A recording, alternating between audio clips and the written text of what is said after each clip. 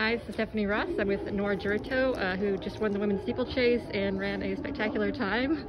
Uh, talk to us uh, about that race. Ah, the race was very good. I thank Almighty Father because of the strength and ability. Again, uh, I thank this country because of welcoming us. It was not easy, but uh, I think God his best. Uh, the race was was good for me because of the, preparation. I was prepared very well.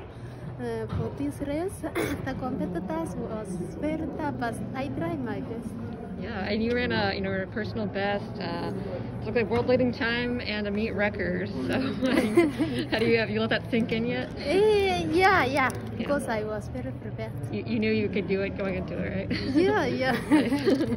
All right, what's next for you? Any more Diamond League races? Uh, next Diamond League, uh, next di- Diamond League, uh, I think it's final. Mhm. I, try, I, I will go back again Kenya to prepare again for that uh, next. Okay. Sure. Okay, nice. All right, thank you. Congratulations. Thank Great you. race. Bye.